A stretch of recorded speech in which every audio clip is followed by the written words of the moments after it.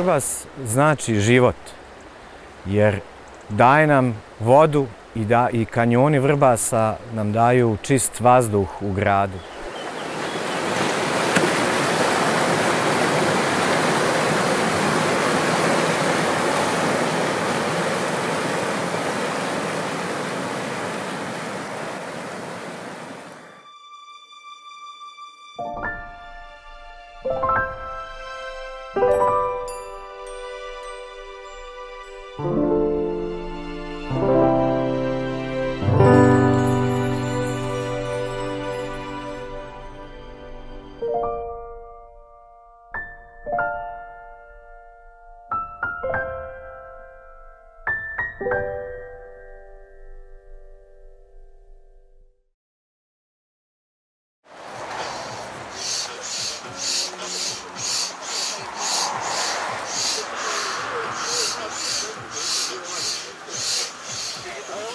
Vrbas je sigurno odlična rijeka za kajak ili stand-up paddling ili rafting i već sam vidio puno raftova dole niže, ali isto i taj gornji kanjon bi, bi, baš je odličan.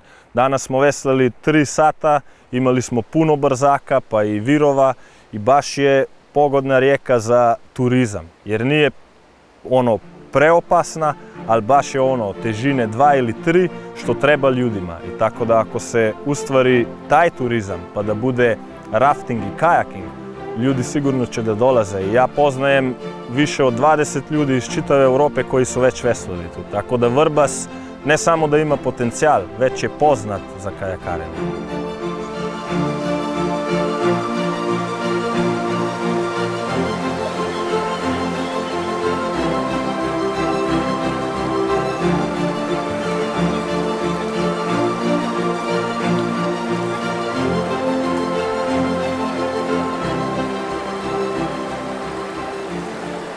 Ukoliko se izgrade hidroelektrane na Vrbasu, doći će do poremećaja ekosistema, kvaliteta vode i naravno prozračenosti grada iz e, kanjona.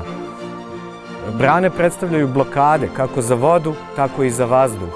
Taj vazduh više neće biti isti, bit će puno više vlage, Banja Luka će se gušiti u magli svako jutro i svako večer. Zato ne trebamo dozvoliti izgradnju hidroelektrana na Vrbasu, i zato trebamo da živimo Vrbas, jer Vrbas je živ.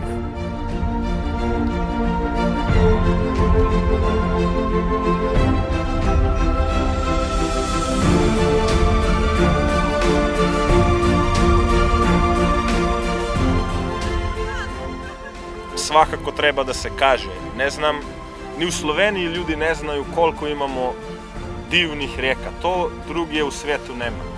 Njemci dolaze tu jer nema reke u, Njemačkoj gdje mogu da voze kajak ili da mušičari. Tako baš je to neko veliko bogatstvo Balkana i ja mislim da imamo sve razloke da smo ponosni. Upravo ću se nadovezati na, na to da samo zajedno možemo i da uspijemo i samo zajedno možemo da pošaljemo poruku kakvu želimo da pošaljemo.